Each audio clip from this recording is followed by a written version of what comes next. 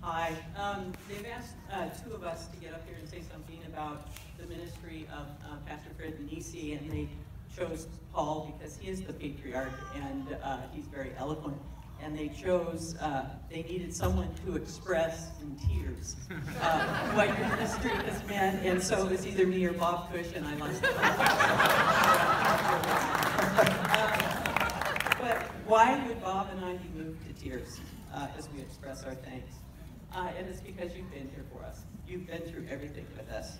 Um, you've had incredible impact on our lives, and we are changed people because of your leadership, example, and your words. You have held the gospel out to us for 35 years, and the gospel changes people. Amen. We are changed. Everyone here is changed because of your ministry. For 35 years, you have shared your compassionate wisdom and faith in the humblest possible way, with your finger pointed up to God the whole time. It's Him, it's all Him, and you remind us of that all the time.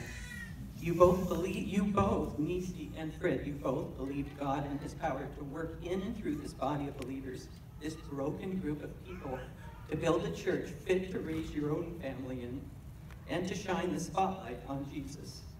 As you've taught us about membership, you and Nisi were willing to put your reputations on the line when you came to this church, to be uh, bound to this church, to make you trusted God, to make something of us. This was a dwindling, broken group of believers when you arrived, and you believed in the power of God and in the power of the gospel, and I thank you for that.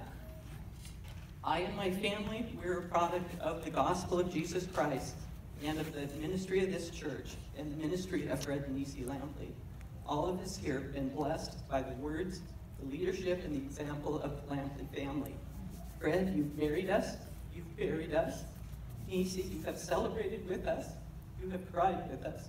You've held our babies, you've walked beside us, you've shepherded us. You have prayed with us, and you've prayed for us. Hebrews 13 says, Consider your leaders who speak the word of God to you, and the outcome of their way of life. Imitate their faith. Between 1,500 and 2,000 sermons, Fred, you have preached. Between 1,500 and 2,000 sermons. Jesus said, out of the overflow of their hearts, their mouth speaks. And you have consistently shown through 1,500 sermons and through everyday conversation what is in your heart. And we thank you for that because it is a heart of compassion and a heart of love. And you've touched us all. We thank you for that. You have raised us